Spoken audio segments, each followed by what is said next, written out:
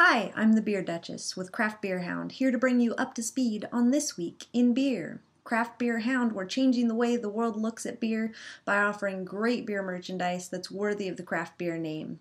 We've got everything that you could imagine for uh, any beer lover on your Christmas list, or um, maybe for yourself, because you do deserve something awesome.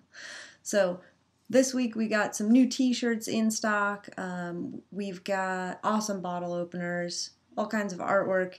Uh, the top seller this week though is the bottle cap collector um, which is selling like crazy. So go check it out at the website craftbeerhound.com cool beer essentials for the discerning palate. And now on to the news. This week, November 27th, 2013, our shout out goes to craftbeer.com. They have an article this week entitled Thanksgiving Craft Beer Shopping List. Um, it's a really great article that uh, kind of helps you figure out what might go well with um, your turkey dinner and also gives some, it's all broken out by style. So if you read through it and you know that you like this element in a beer or that element, you know it'll help you figure out what style you might like and then they have a bunch of different examples from across the country. I thought it was a really great article. I'll throw it up on uh, the website for you to have the link, but it's at craftbeer or craftbeer.com. Um, but it will also be on uh, on my blog page at thebeerduchess.com. And the hot topic this week is Lost Coast Brewery. They are expanding.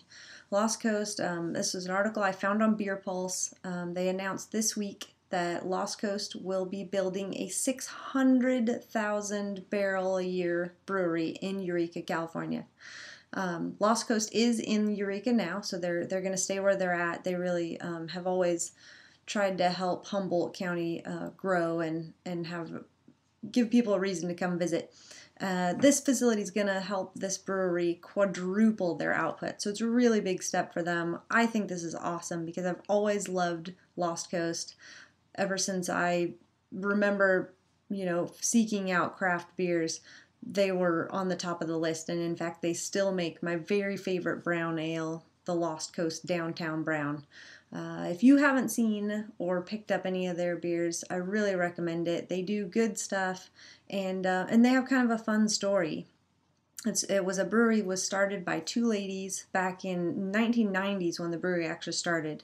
But uh, Barbara Groom was a pharmacist and Wendy Pound was a family counselor, and they were just friends who, in 86, I think it said, uh, started talking about maybe what it would take to put together their own brew pub and um, you know they took their time doing their research and and they actually bought a castle to get started and uh, and anyways, it was fun story, and they're they're really expanding, and I just think it's pretty cool. So uh, if you if you haven't checked out Lost Coast, please do, and um, and cheers, ladies! Congratulations. And for anyone who missed it, here are some great beer releases that have just happened or are happening now. And so wanted to make sure that you don't you have these beers on your list to look out when you're beer shopping. We've got a deschutes abyss. Uh, the abyss comes out every year. It's one that um, that ages really well and it's just a phenomenal beer. So if you see deschutes the abyss please pick it up and uh, maybe pick up two and wait about a year to to drink one. Um, it's one that we've done now for years. We've done verticals, and I think we usually have two or three years worth of uh, of abysses to try side by side, and that's just really fun one to do. It's very um, it's a big beer. Um, you'd have to be a big beer drinker to to like it, but um, it's very roasty and uh, just delicious. It's I've never been disappointed by that beer. Then uh, Anchor Christmas beer is out, which is another one that we've done verticals on year after year, and I think we're gonna have uh, maybe a four four year vertical this year. So I think what this is 2013, 12, 11, 10. So we we have yeah going back to 2010, and we'll be able to try all four of those at a time uh, this year and try them side by side, and it's fun to do that because um, if you haven't ever done a vertical tasting, it even though and and I have to kind of preface this, not necessarily do these breweries make the same exact beer every year. They do change it. So it's not just a way for you to look and see how these beers age over time, um, but it's also uh, kind of interesting just to see how they change up the recipe. Like I remember um, last year when we did the Anchor Christmas vertical. Uh, one of them, I think it was the 09, was really, really very heavy on the cherry and dark fruit notes. And then another one was a little bit um, sweeter. And so, anyways, it's just, it's a fun thing to do. And even if you're just going to drink it, the Anchor Christmas beer is always a really great beer. And so I just saw that that's out in the stores. So that's good and fun. Stone Brewing also has out their Crime and Punishment. Now, this was released a couple of weeks ago, and I haven't seen it here in Nevada, but it should be all over the place by now. Um, Crime and Punishment. So it's two different beers. One is the their Lucky Bastard, Lucky Bastard. Um, that they have put all kinds of fresh chilies in. And then the other one is a much bigger beer. I think the Lucky Bastard is like seven or eight percent ABV. The double bastard is the other one, the punishment, and that one is like twelve percent ABV. And so that's, I mean, the double bastard is a big beer to begin with, but uh, now they've added these chilies, and so. Uh, I don't know how it's going to turn out. Sometimes those chili beers are kind of fierce, but um, but it's definitely worth a try. And then, of course, we've got Sam Adams Utopias, which uh, has been out for a couple weeks as well. And probably, if you don't have it already, which it's a 150 to $200 bottle of beer, uh, you're probably not going to find it. But now that it's out and about at your local brew pub, uh, maybe not brew pub, but your local beer bar, they may well have a bottle there and they usually sell it by the shot. This is a beer if you don't know about the utopias it that is um it's really special. It's a beer that's it's 23 plus percent alcohol so it it's, can't even really be considered a beer. There isn't any carbonation to speak of. That's but it's this blended uh, it's it's this beer that's blended from all kinds of barrel aged.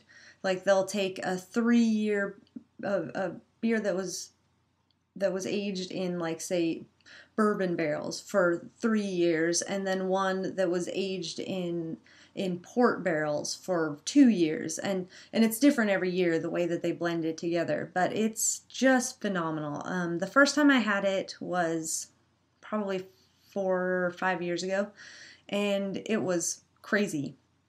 I don't know if that one was just crazy or if I just was not ready for what I was trying. Uh, it was very just pure alcohol, and you know, there were like three of us that split a one or two ounce taster of it, and it was it was pretty rough. But then I had it maybe two or three years ago, and it was phenomenal. It it had a lot of these port characters, and it was really sweet and um, and maybe it was just like I said that I that I knew what I was expecting um, or knew what to expect. But anyways, if you see it or if you can find a bottle somewhere, I think it's worth it to just to taste it, just to see what's out there. So um, that's kind of what's already been released, and then there is one more release that I read about that's coming out just after Thanksgiving, so just in a couple of days. Stone's uh, smoked porter with vanilla bean is coming out. Now this that's a beer that came out last year and we were actually able to do a tasting with the the smoked porter original the smoked porter with espresso beans and then the smoked porter with vanilla bean. And the vanilla bean was really vanilla-y so um, it'll be interesting to see how it how it compares this this year. In fact uh, i think last year when we were doing those the different uh, tastings we were we ended up kind of combining the vanilla with the regular or with the espresso to the certain amounts, you know, kind of blending our own to make this kind of what we considered perfect uh, smoked porter. But anyways, uh, so that's going to be out later this week. So add that to your shopping list. I just wanted to throw those out there in case in case you didn't know what was happening. It's a it's a pretty fun time of year for for all the the annual releases um, for the holidays coming up. So check those out. And for something not so new but trending like crazy, uh, the Craft Brewers Association, um, there was a couple of articles going around the past week or more, maybe even, um, about they just released a, or did a press release saying that they're they're going to be moving. And uh, their facility they, they currently are in downtown boulder colorado and they're going to move to a different facility still in downtown boulder but it's going to be twice the size of their current location so it's you know kind of a big deal it means that craft beer is doing well but then you look at the sales tag price of this new location which is supposed to close in april of next year a whopping $4 million the Craft Brewers Association is spending on their new location. So I guess uh, maybe craft beer really is doing quite well. and one last thing my own personal beer journey this week. This week I got to try a couple really great beers. Um, really great beers, actually. Epic Brewing. I've talked about them before. I feel like I give them all kinds of props, but I really do love them. We have had their Imperial Pumpkin Porter for since early October probably, and have kind of just been waiting for a time to try it. Well, it's getting close to Thanksgiving, so we thought it was uh, an opportune time to give it a whirl. And it was really, really great. It was not very pumpkiny at all. Um, it was uh, higher in alcohol, but it just had some really, really great flavors. There was some oakiness that came through, and uh, I don't even know now looking back at it what I could say that would make it sound as amazing as it was. But um, it, I've seen it, it's still on the shelves. It would be perfect to drink with uh, on Thanksgiving. So if you can find it in the next day or so, pick it up. It's it's a really great beer, and I highly recommend it. We also tried Dogfish Head 70 minute IPA, which is uh, so we've got the 60 minute, most of you may have heard of, and the 90 minute.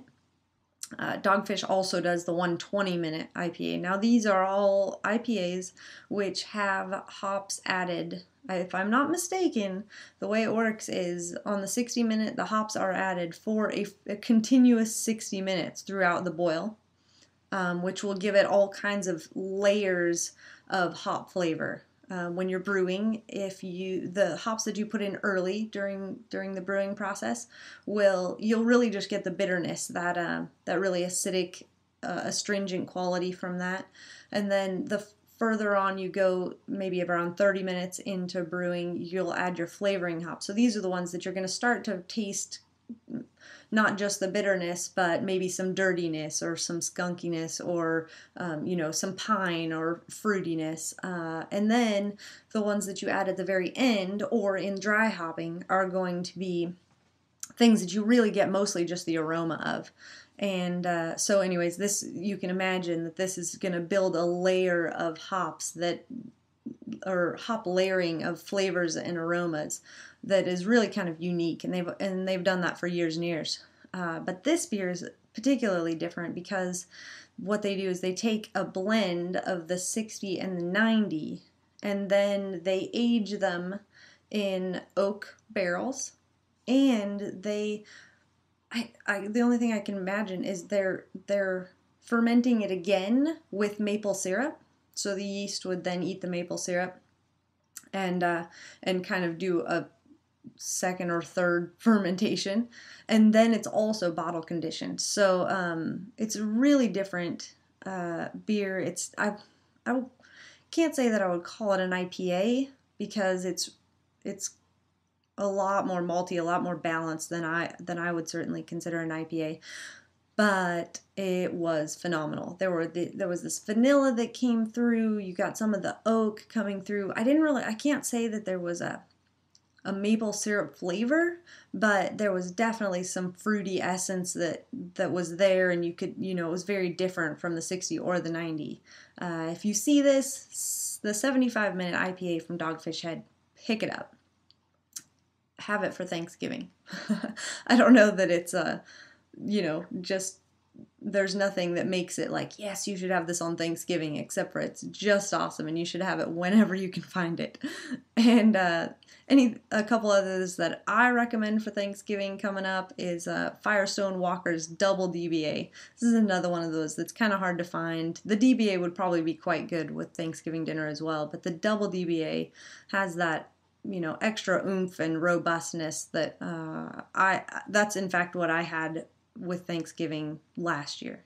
But this year, I'm going to be uh, drinking the Epic Brewing's Sour Apple Saison.